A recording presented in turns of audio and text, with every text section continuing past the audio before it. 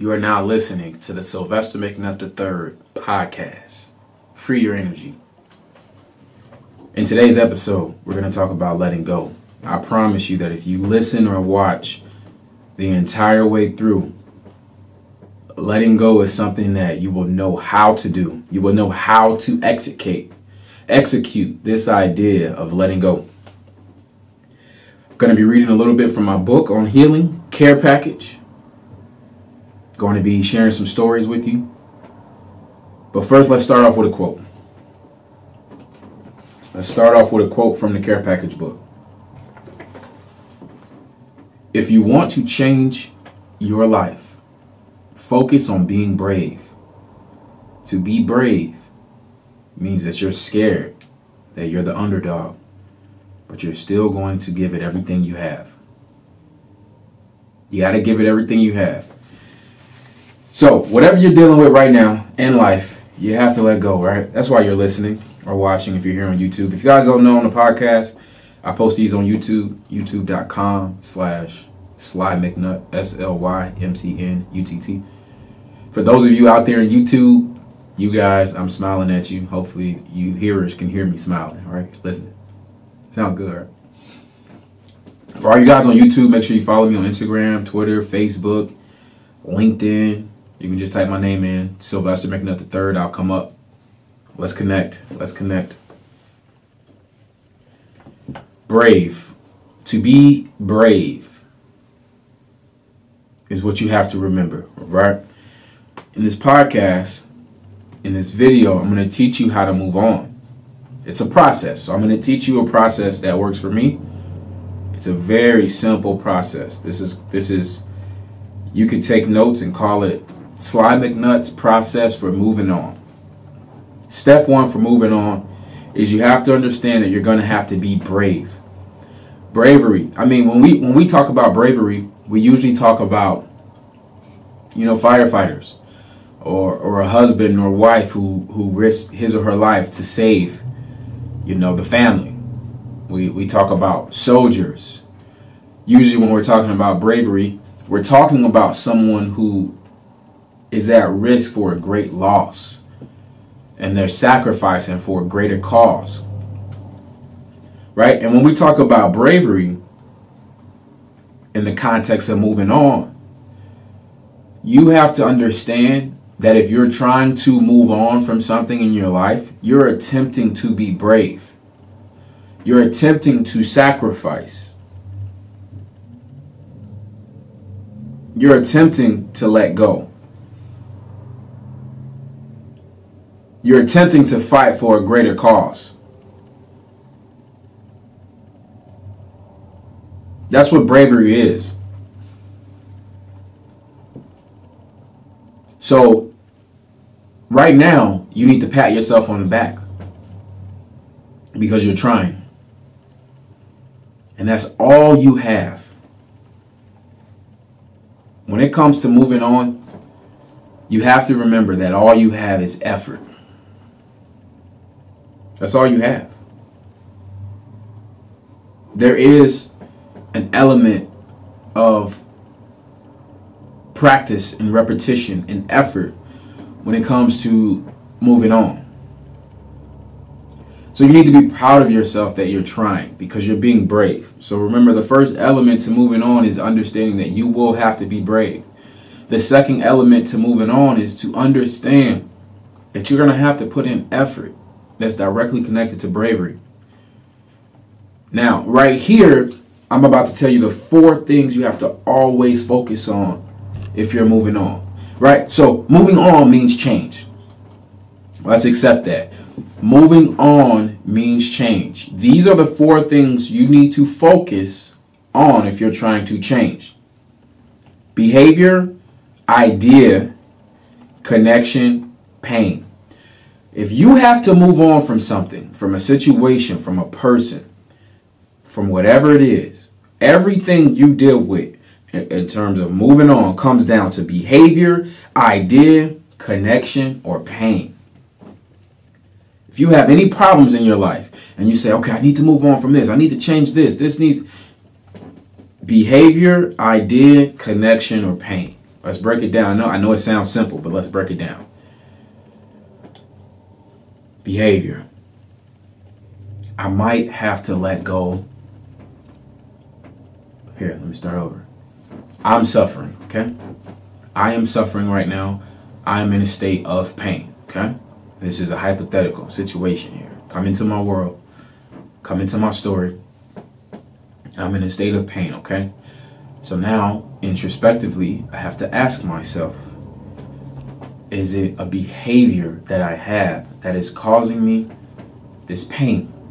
Is it a behavior that is stopping me from getting to where I want to go? Is it a behavior that I have to let go of?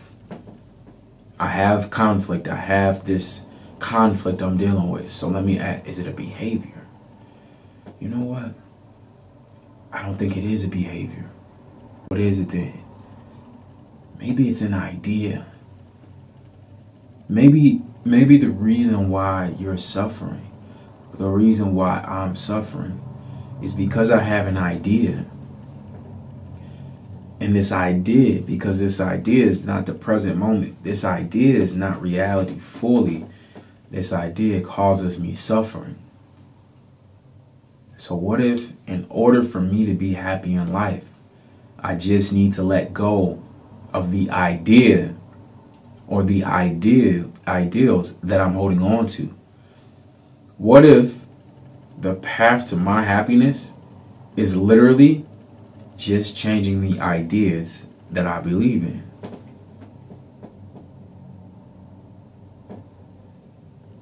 Connection.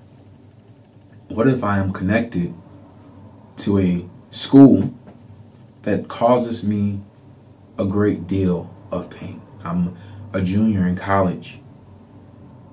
I don't want to be at this college. I don't want to be in this major. I don't know why I'm in college. I'm just here, fulfilling a destiny that my parents picked for me. What if the connection to this college is the source of my pain?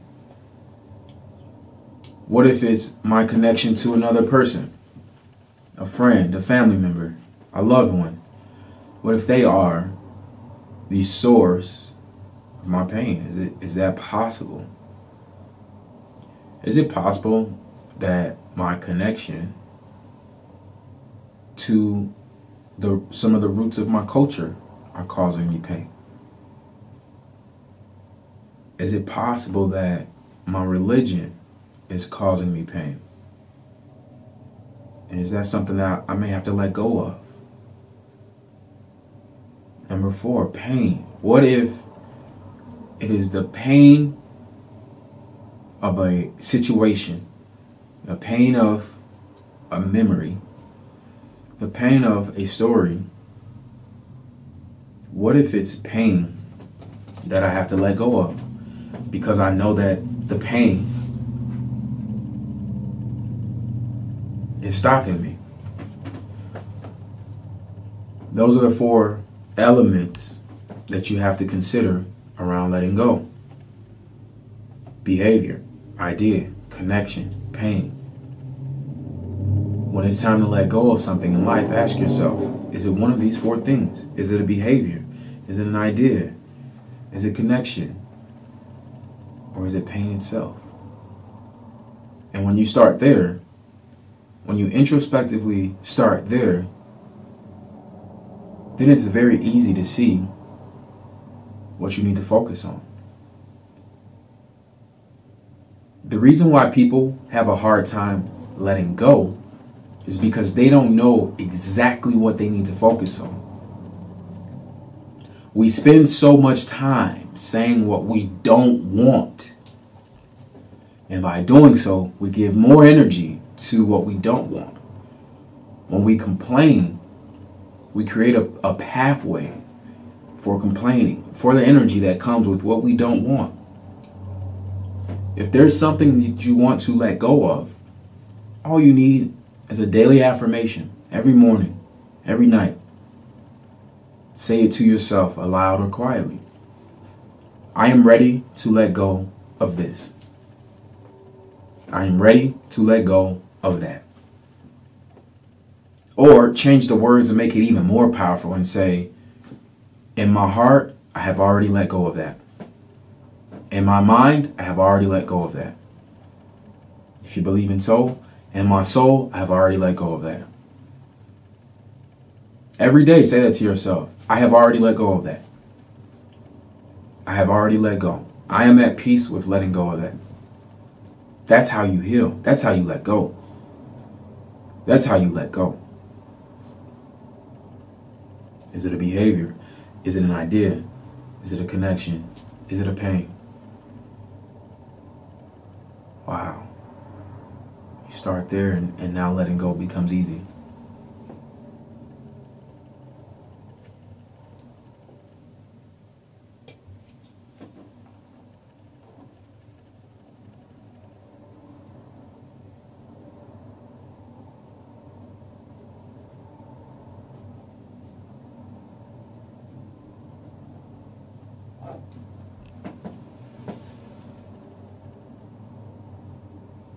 I want to talk to you about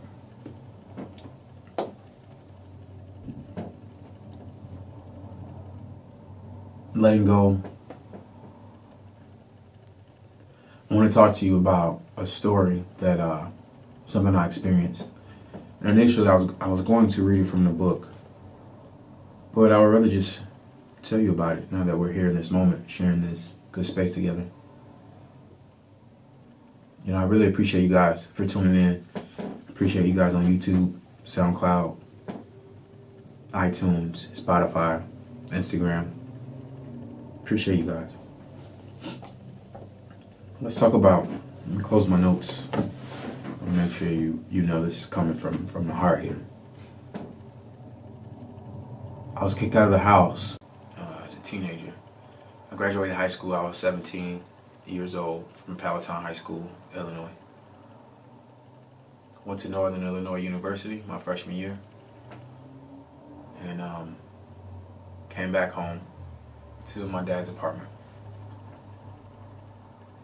Now, we didn't have a good relationship at this point.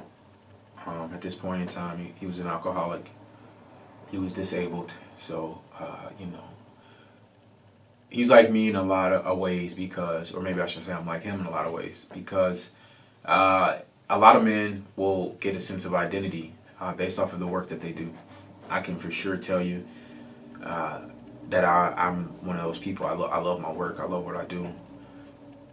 Uh, I mean, one of the reasons I've left left jobs before is because they didn't align with me, you know, or my core values or my ideas or, you know, just like where I wanted to be in life. So I definitely can say that I align and identify with the work that I do, which is why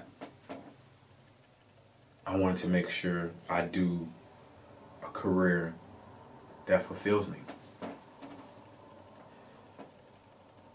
You know, so my dad was very similar. He he he did a lot of culinary, chef, and then later in his career got into uh, management. You know, um, creating different dietary plans,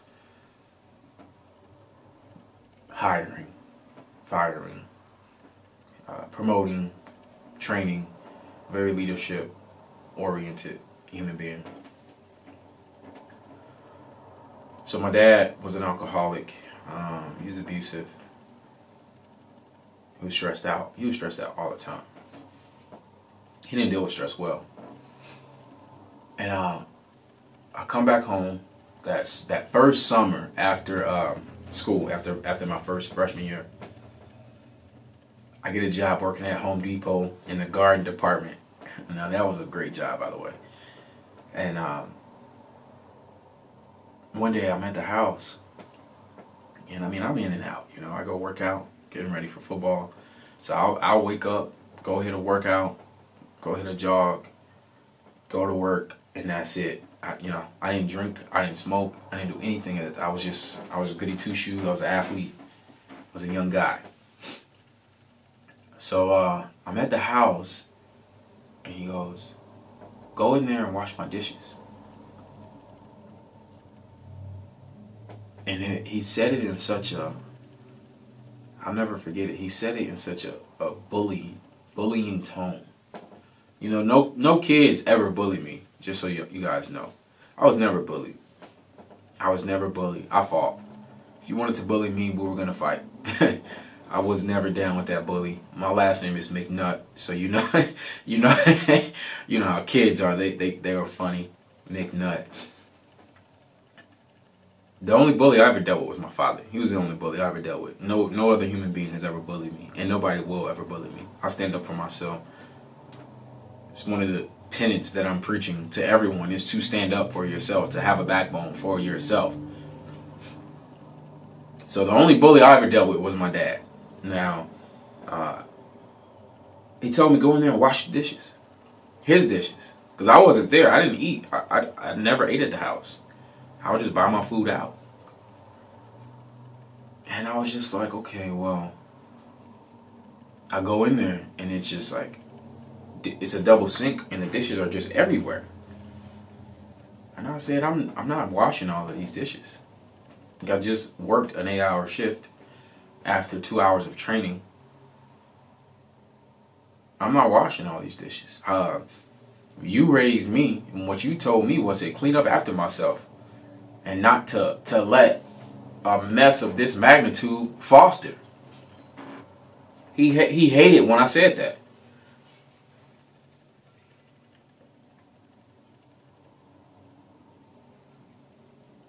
He hated it when I said that. He thought I was being disrespectful because I was talking back. Now, any of you millennials out there, you've probably heard that talking back. Don't talk back to me. What does that even mean? Don't talk back. So you can just talk at me, but I can't respond. I can't like you get the final word just because you're older than me or because you're my parent. So I cannot speak.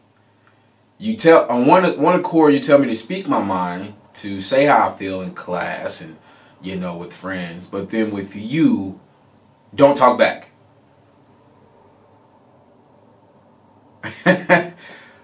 I mean, if any of you guys are doing this with your with your children now, I just want you to know it's confusing.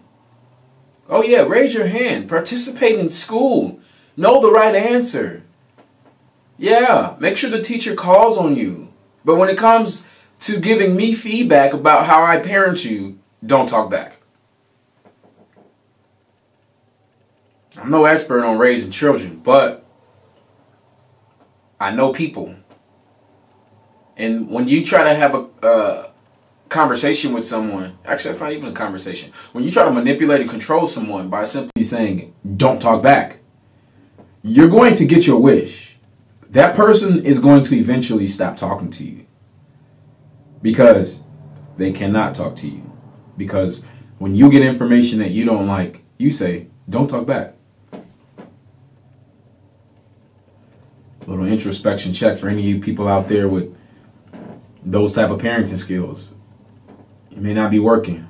Don't talk back. So, you know, he said, Don't talk back to me. Just go in there and wash my dishes. Now, the dishes is him and his girlfriend. I'm 18 years old. They're what, 35, 38 ish? I don't know their exact age. That's just my guess at the time. They're sitting in the living room, lounging, watching television. I just came, I'm 18 years old, and I just came home from working after training for two hours because I'm a collegiate athlete in the summertime preparing. I'm tired. Guess what? My shift starts at 6 a.m., so I need to go to bed. So you saying go in there and wash your dishes? Eh, no. I hate washing dishes. Like, why do you want me to do the one thing I hate? You could have said sweep and mop, and I would have done it because I like sweeping and mopping. You know, I like washing dishes.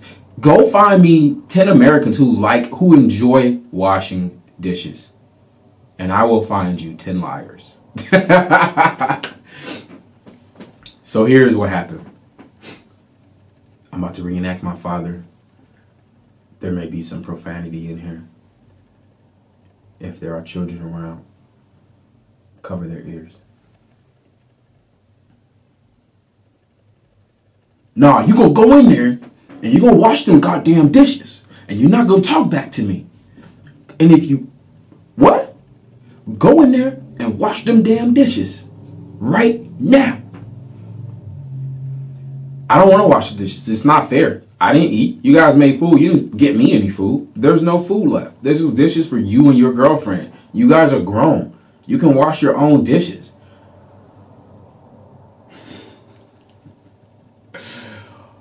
Oh my god. The rage that came over my dad.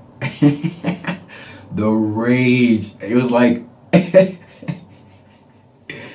was like this this inner beast that was inside of him that was waiting to be triggered. And me telling him I'm not washing you, I may have said you and your lazy girlfriend's dishes. I might I might have said that. That might have triggered him. And he went from like a, a like a yelling to like a screaming. And I don't even know which one is louder or more intense. I really don't know. I, I probably need to Google what's more intense, yelling or screaming. Let's see. When I picture yelling, I picture like ah, like you know, like a. But screaming is just like ah. Okay, so he so he went from yelling to screaming. There we go. We just figured it out. so I'm standing my ground and I'm like, no, I'm not washing these dishes. This is no.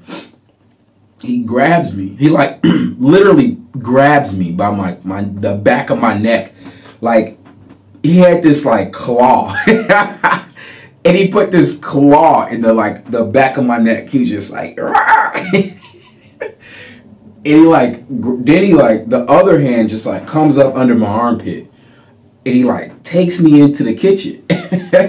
so he's got this claw in my in my neck and he's got like this underhand grip under my arm. So I'm just like paralyzed. So he moves me into the kitchen and he's like, okay, here you go, wash these dishes right now. And he stands there. So now he's forcing me to wash him, his, and his girlfriend's dishes. He's forcing me to. It went from making a statement, making a demand, to then yelling, to then screaming, to then physical force, and then literally standing over me, monitoring me as I'm standing in front of the sink to make sure that I execute what he what he told told me to do. At this point, I told myself, I'm not washing anything. You're not going you're not going to put your hands on me. You're not going to talk to me however you think you can talk to me. Just because I allowed it in the past because I was smaller and I didn't realize that it was toxic and I didn't realize that I didn't realize that people could stand up for themselves. I dealt with it. But at that moment, I changed. And I said, you know what? I no longer want to deal with this. I no longer want to deal with this. I no longer want to deal with this. I no longer want to be controlled. I no longer want to be in an environment where you think it's okay to put your hands on me. I no longer deserve to be in a space where it's okay, where you think it's okay to abuse me. I no longer want to be around people who want to cause me harm. I no longer want to be around people who hate me. I no longer want to be around people who hold me back. I no longer want to be around people who claim to love me but treat me like they hate me. I no longer want to be around people who think abuse is okay. I no longer want to be around people who think it's okay to manipulate me. I no longer want to be around people who I have to walk on eggshells to be around because I'm fearful that they may harm me, hurt me, attack me, scare me. I no longer deserve to be around that.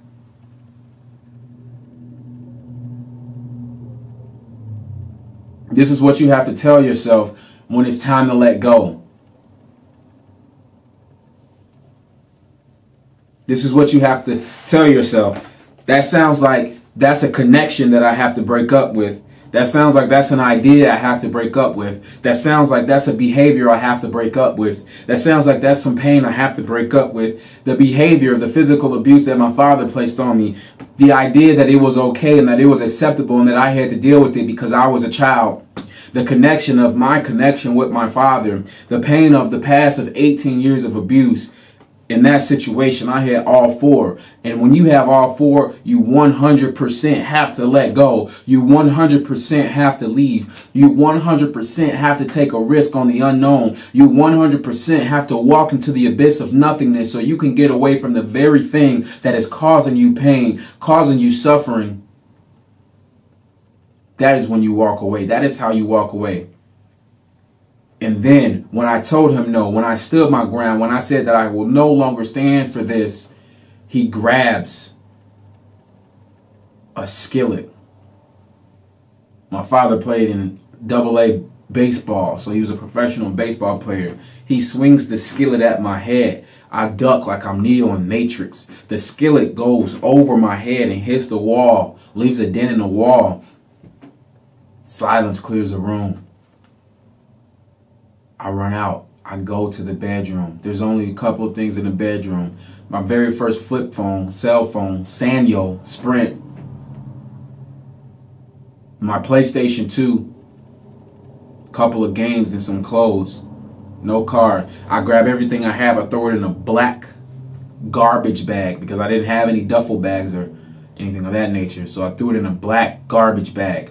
Double bagged it. Bagged my clothes, bagged my PlayStation and my cell phone ran out of the house. As I'm getting my stuff ready, my father yelling, screaming, rage mode.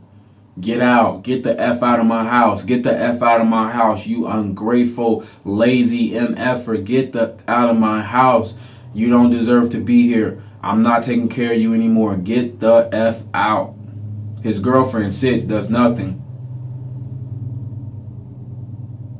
Okay, well, I'll be gone then. Because I'm not dealing with this anymore, sir. The behavior, the idea, the connection, the pain. I got to go. And I got to go. So I left. Walked to my high school.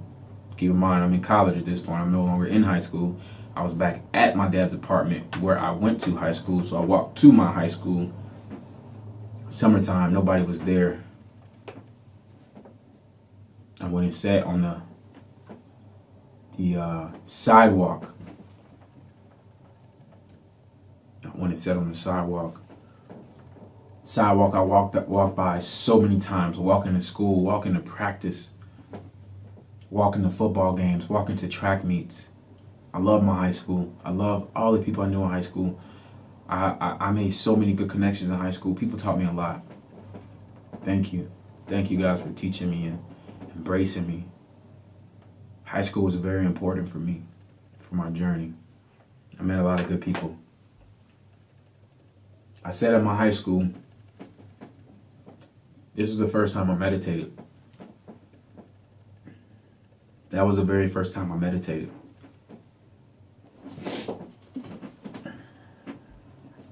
I'm not religious. I was raised a Christian. People are gonna. People always ask me this. I was raised Christian. Uh, I don't like Christianity. I don't like what it did to me, to my people. Yeah, I guess we're going there today, huh? I guess we're talking about religion today, huh? I had to let go of Christianity because Christianity hurt me. My dad was a Christian. My mom was a Christian all the people I know who caused me the most pain in my life are Christians. So why would I want to be that?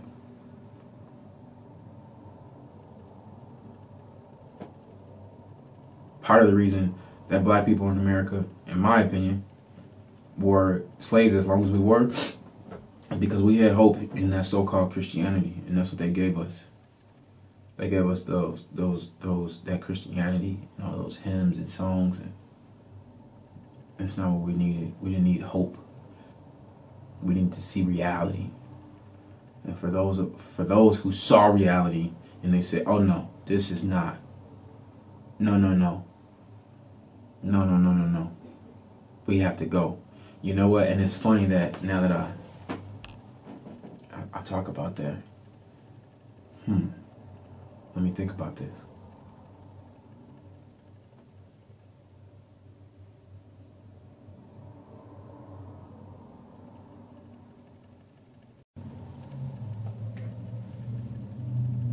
If your mind is open enough, I know that slavery is an extreme.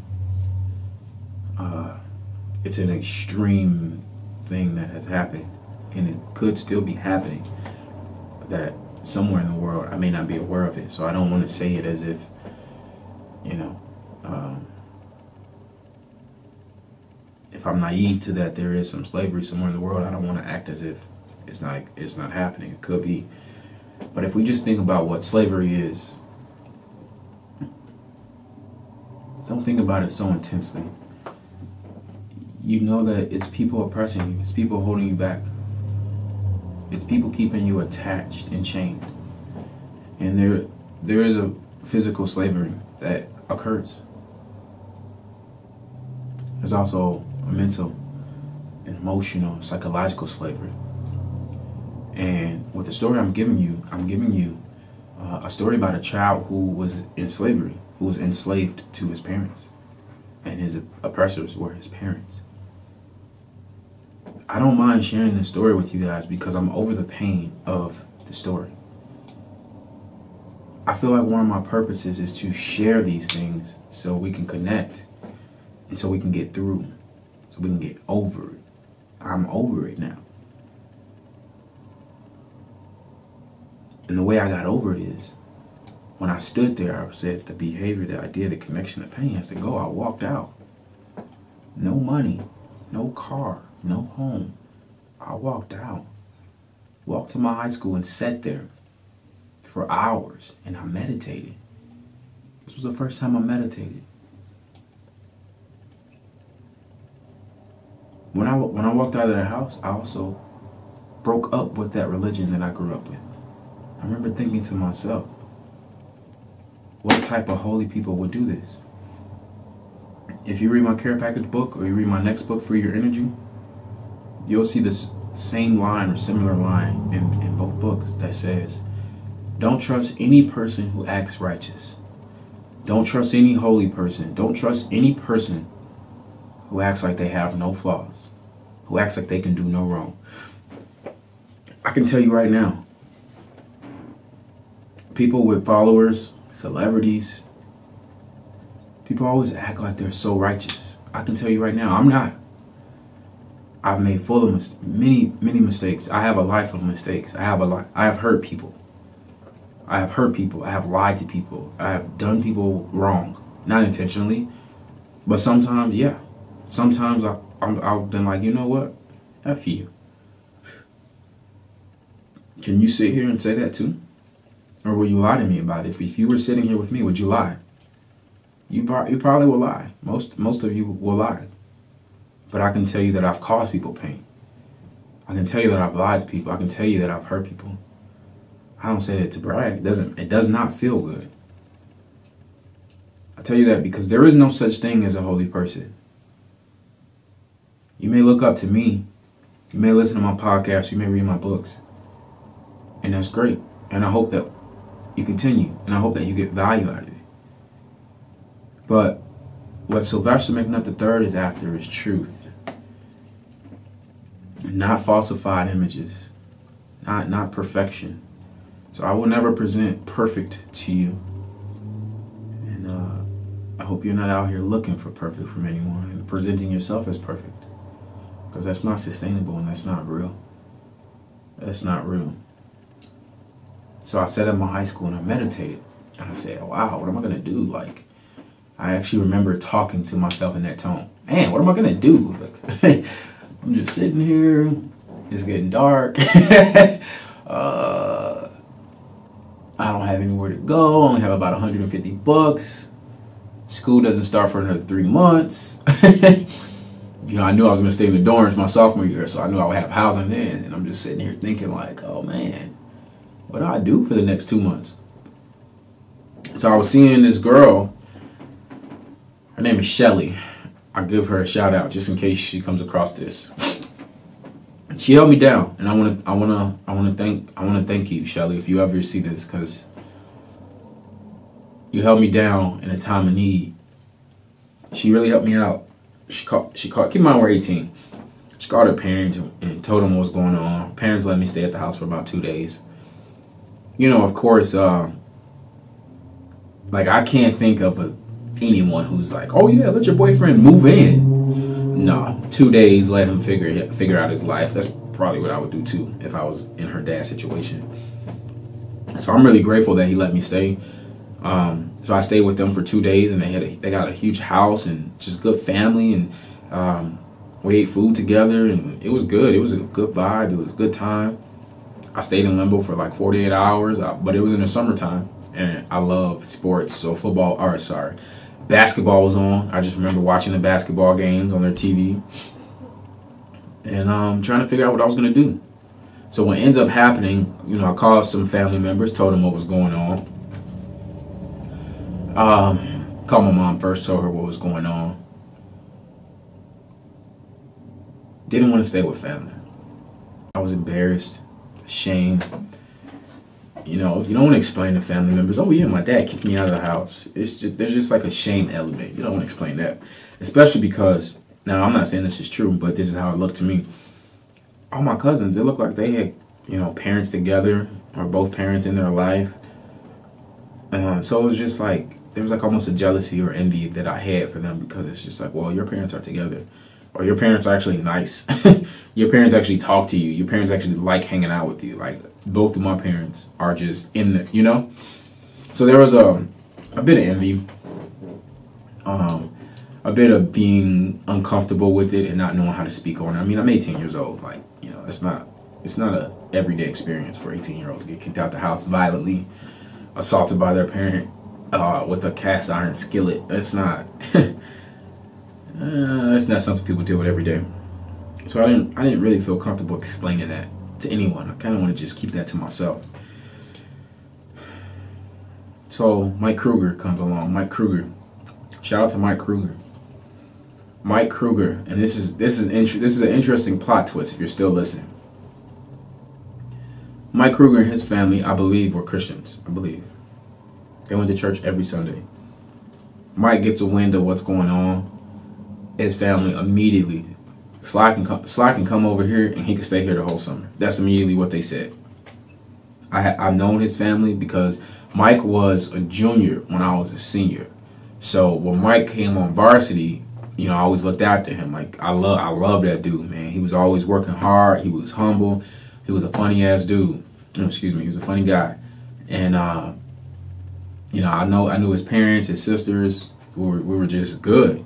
And so when they found out I was kicked out, they just treated me like I was one of their sons. They were like, "Oh no, you can come stay here. We had a basement with a big couch in it. You can stay there. Like you're you're good." So, that kind of blew my mind. That blew my mind that they did that. It was life changing. So um, yeah, they picked me up in my, my duffel bag and I stayed with Mike, Mike Kruger. I stayed with him for about two and a half months until school started back up in August. I think I went to church with them every week. And I'm not religious. At this point in my life, I'm not religious. That's when my I'm spiritual. I believe that I'm a spiritual being. I don't believe that I'm a religious being. It was at that point. Wow, this is crazy. I never thought about this till right now. It was that incident that caused me to break up with religion and caused me to start a spiritual journey to learn self, to learn the world. Wow, this is crazy. So it, in the end, I ended up letting go of the relationship with my father because his behavior was not healthy. His ideas were not healthy for me. There was too much pain there. So those are the four pillars that will tell you if you have to let go. And all of them were yes, let go, yes, let go, yes, let go, yes, let go. This is one of the most important stories of my life because it helps me understand it helps me understand. And when you understand, that's how you heal, that's how you free yourself. Me and my dad didn't talk for five years. He tried to talk to me. He tried to send me uh, Christmas gifts. He tried to call. I wanted nothing to do with him. All of that felt fake to me.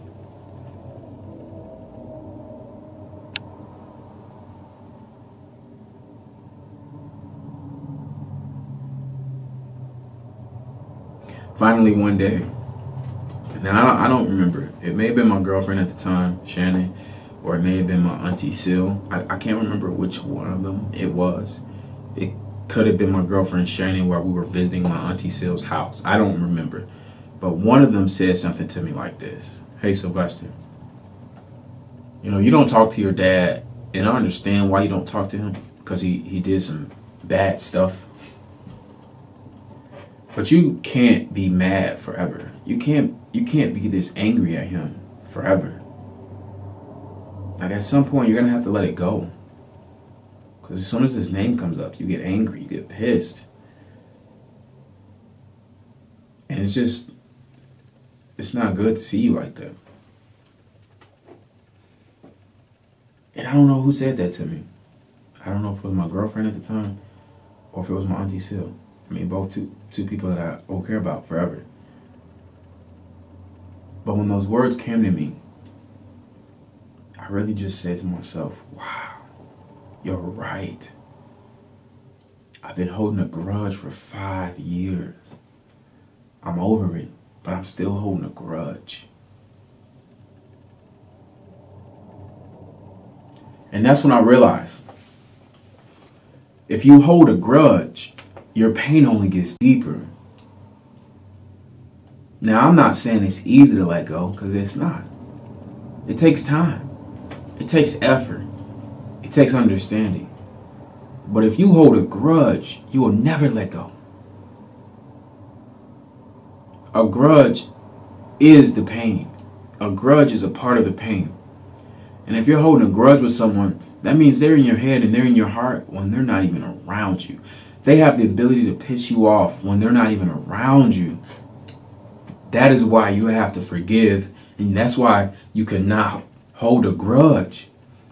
You don't want to be walking around with that energy. You don't want to be walking around pissed off. You don't want to be walking around triggered, upset.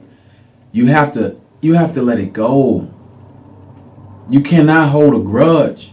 Like, if you're holding a grudge, you're not moving on from the pain. If you're holding a grudge, you'll never be happy.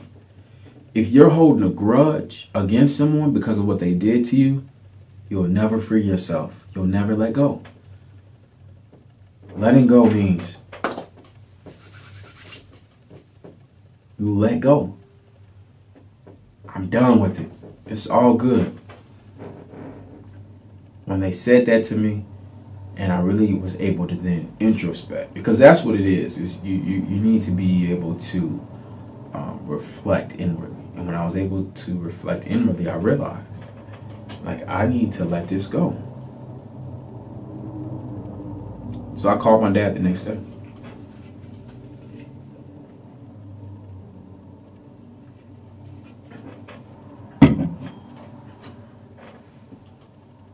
Called my dad the next day and I said, Look, we need to talk.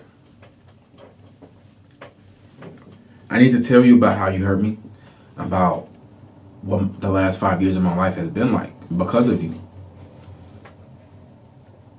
He was open to that. If he would have said no, we, we I probably would have hung up. He said, okay talk. We created a, a safe space for me to share and talk and explain. He heard me. He apologized. In that moment, our relationship was healed. He acknowledged the pain he caused me. He acknowledged he was wrong. He offered to change said that he was a different person. He said that five years without contacting me hurt him. I'm his firstborn son. He said it hurt him a lot. He said that he treated me that way because the world is going to treat me that way. And that he wanted to just toughen me up and make sure I was strong.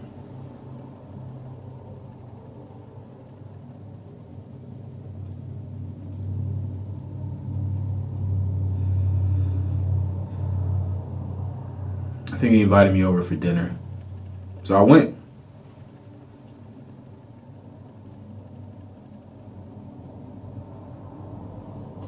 Yeah, so I went. We had dinner, we laughed, we joked, we reconnected, we developed a new relationship. We developed a new healthy relationship. I put up uh, boundaries. I put up boundaries. Told him I was going to put up boundaries. I said, "You look, I, I, just don't know if I can trust you, uh, you know, the way a person would like to trust their parents. So we're just to have some healthy boundaries in place here." He understood.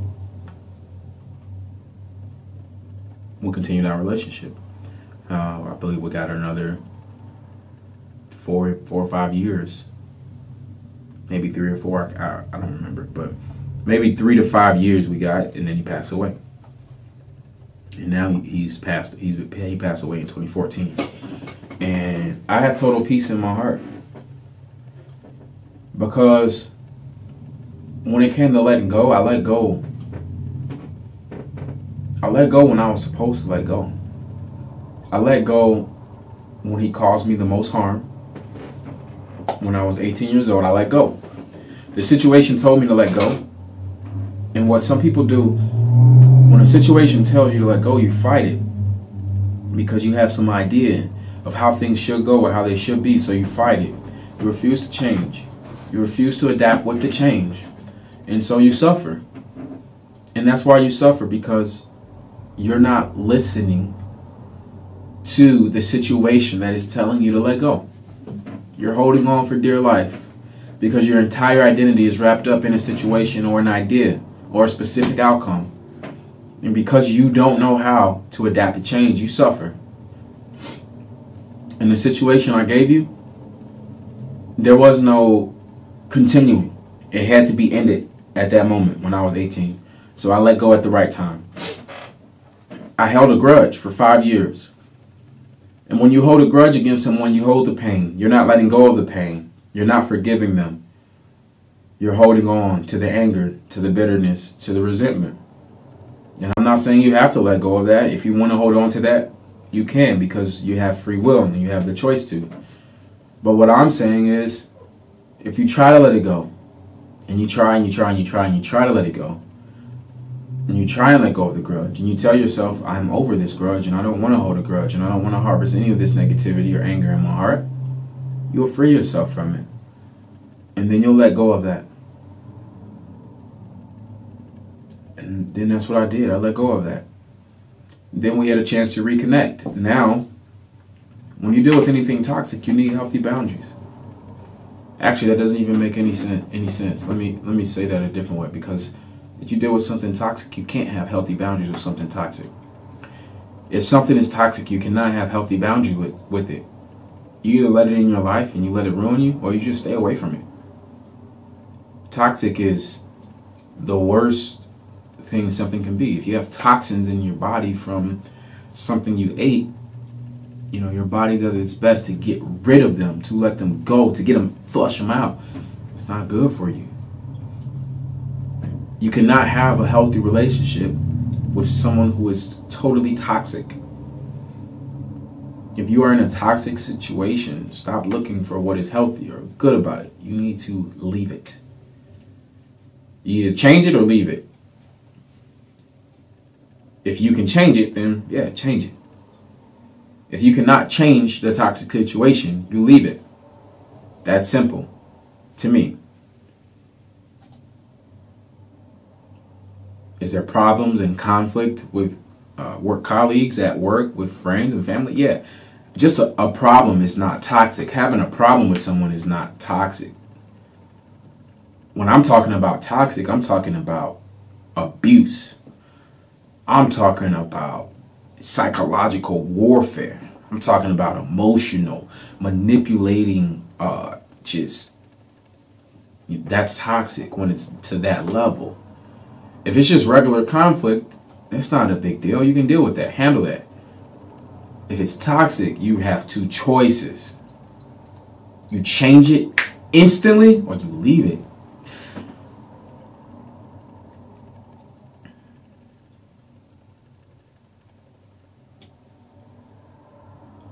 I'm going to give you a quick summary here of what we talked about today.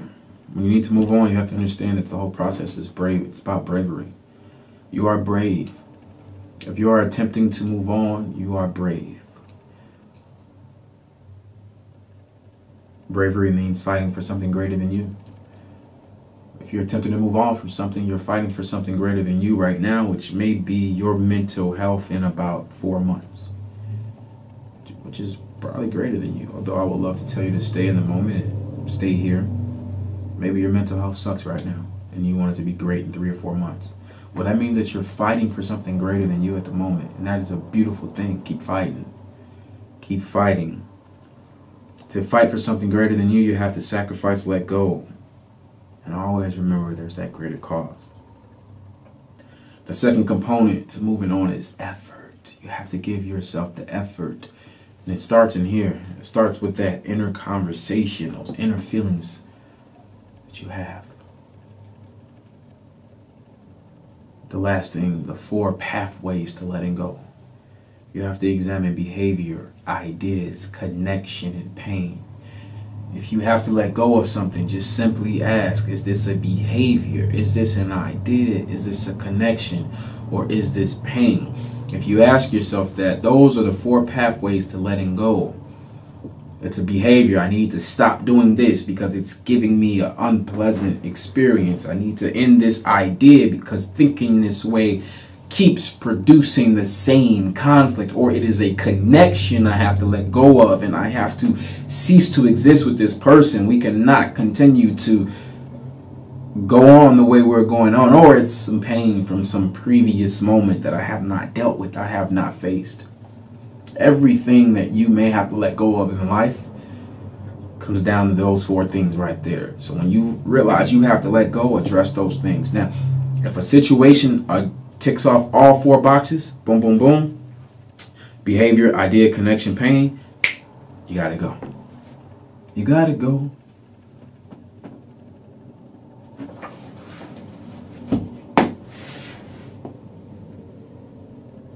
Thank you for listening to the Sylvester McNutt III podcast, Free Your Energy, episode 3.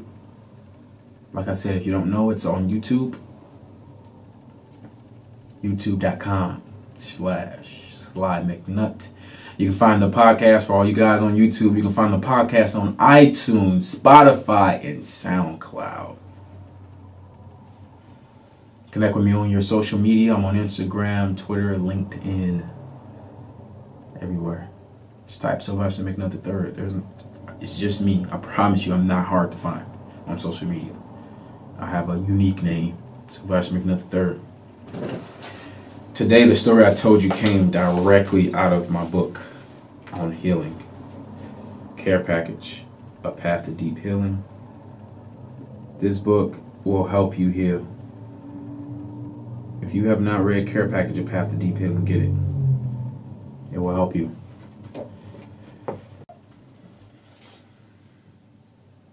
The third chapter is actually called Letting Go. Letting Go. Uh, that story that I gave you, it's in there. I could have read it, but I wanted to give you the story. I wanted to talk to you about it, and I wanted to give you commentary, so that's what I did. There's a lot of good quotes in here. I'll read you a couple. You'll never move on from someone if you keep investing in him or her when history has proven that there is no return on the investment. Walking away from toxic. You stop making excuses for the way they treat you. You realize that their manipulation and games will no longer work. You become brave enough to walk away and wise enough to stay away. Oof. I need to post that. I might have to post that on Sunday when I post the link to the pod. If you're trying to leave a toxic situation and a person tries to persuade you to stay, F them. they need to be cut off too. See, a person who really loves you does not want to see you in a toxic situation. Let go of the idea that you need to tolerate shitty behavior. I'm trying not to curse at all, but you know, it happens. Letting go means allowing your flesh to shed, your tears to run, and your heart to ache. Not forever, just long enough to wash all the energy off of you that no longer deserves to be there.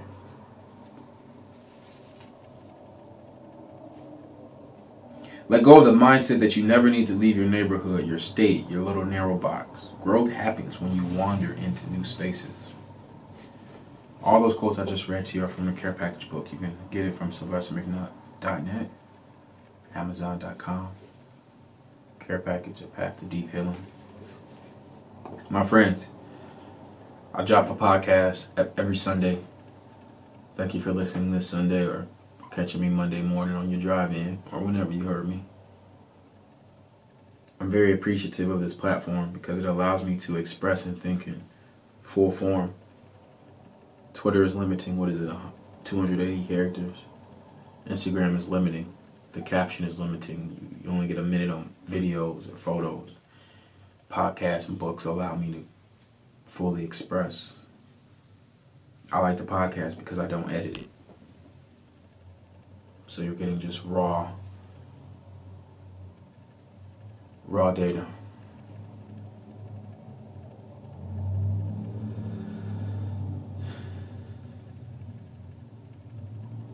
I'm sending you love, sending you good energy. See you next week.